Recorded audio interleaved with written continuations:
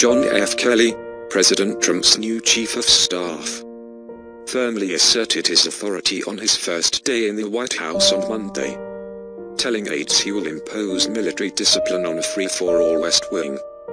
And he underscored his intent by firing Anthony Scaramucci, the bombastic communications director, 10 days after he was hired. Mr. Scaramucci was forced out of his post, with the blessing of the president and his family.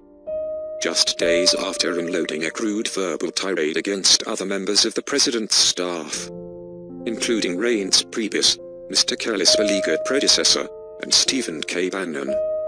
The chief White House strategist, in a conversation with a reporter for The New Yorker. Mr. Trump recruited Mr.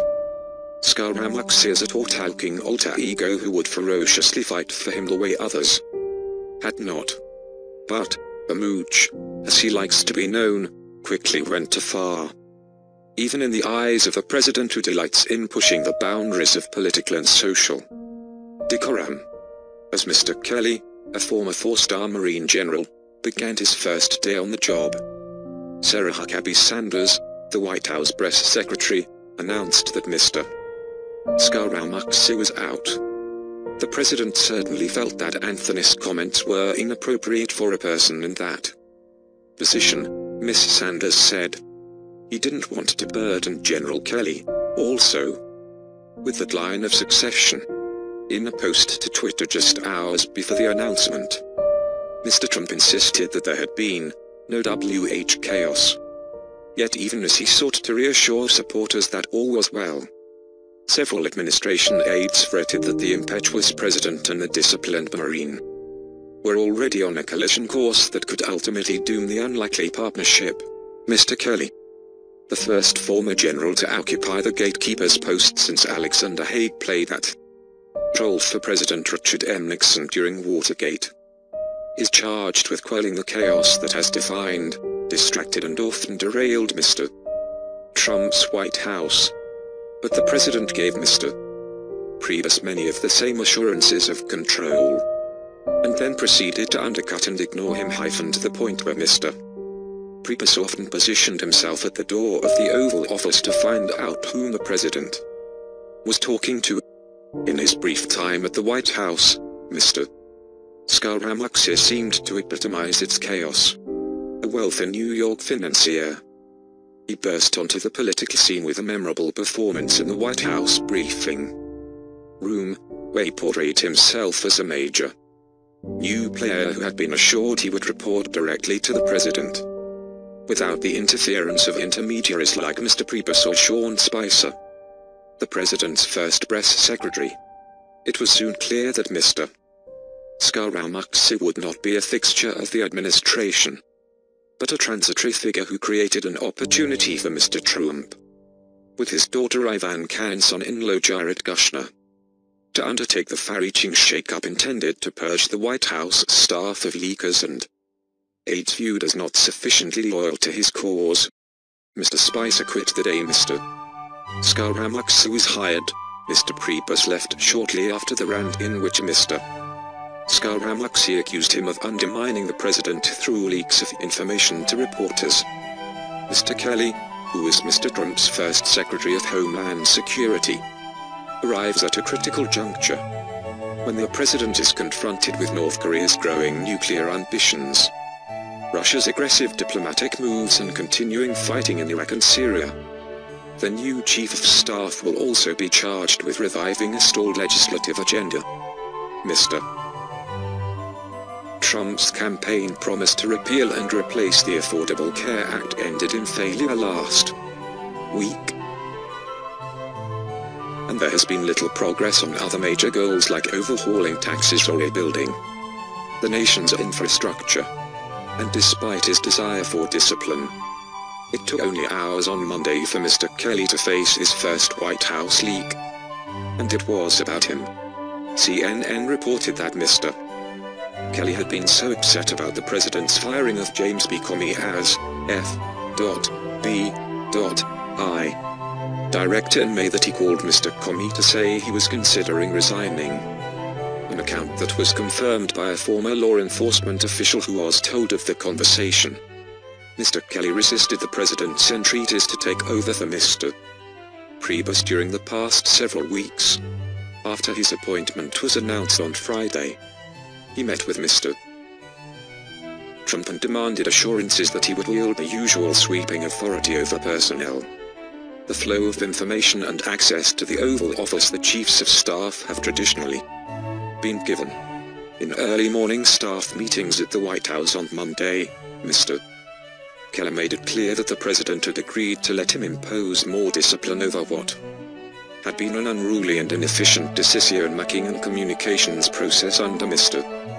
Priebus, who had none of Mr. Kelly's experience in government or the military. Mr. Kelly also made it clear that everyone in the staff hyphen including Mr. Bannon, Ms. Trump and Mr. Kushner hyphen would clear policy proposals, personnel recommendations and advice from outsiders through him. General Kelly has the full authority to operate within the White House. And all staff will report to him, Miss Sanders told reporters later. But she added that Mr. Trump would decide how that would work. Mr. Scaramucci's fall and Mr.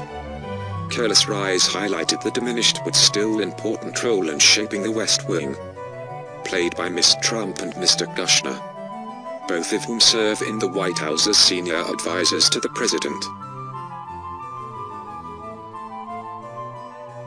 Miss Trump and Mr. Kushner had hoped to persuade Mr. Trump to appoint Dina Powell, the Deputy National Security Advisor, as Chief of Staff. Mr. Trump, who liked Miss Powell, considered doing so, but later hyphened when it became apparent that Mr. Trump had settled on hiring Mr. Kelly hyphen the pair supported the choice of the general. According to people involved in the White House's internal discussions, while Mr. Kelly's concerns were the decisive factor in Mr. Scaramucci's departure, they said. It was clear that Mr. Trump had quickly soured on the wisecracking. Long Islandbrook former hedge fund manager, and so had his family. Miss Trump and Mr.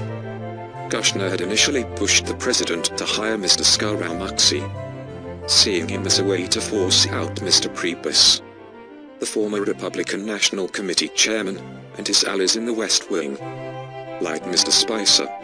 Mr. Spicer resigned just hours after Mr. Scaramucci's hiring was made public. And shortly after Mr. Scaramucci called Mr. Priebus a paranoid schizophrenic. A paranoiac, hyphen adding a more vulgar term to the beginning of the phrase hyphen Mr. Priebus. 2. Offered his resignation. Mr. Trump was initially pleased by Mr. Scaramucci's harsh remarks, directed at Mr. Priebus as well as Mr. Bannon.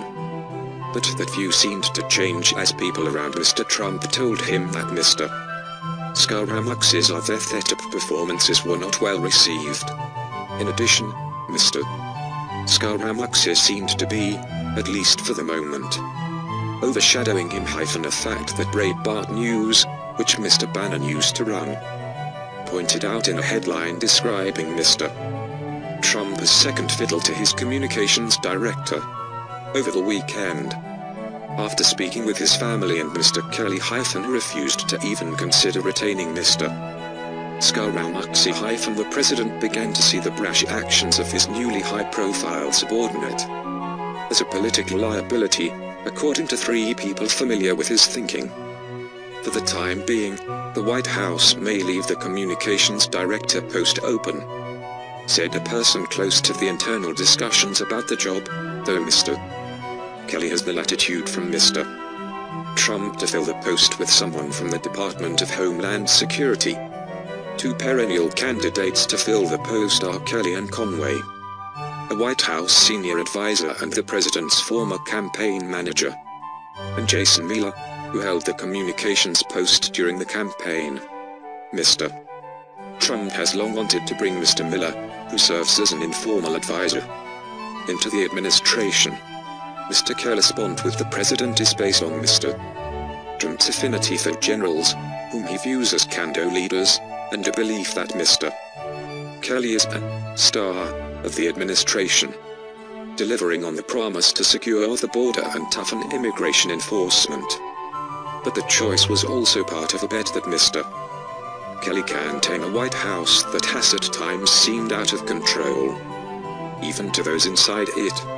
On Monday, after a day that included a cabinet meeting and a ceremony to present the Medal of Honor, Mr. Trump seemed eager for the normalcy that has so far eluded him.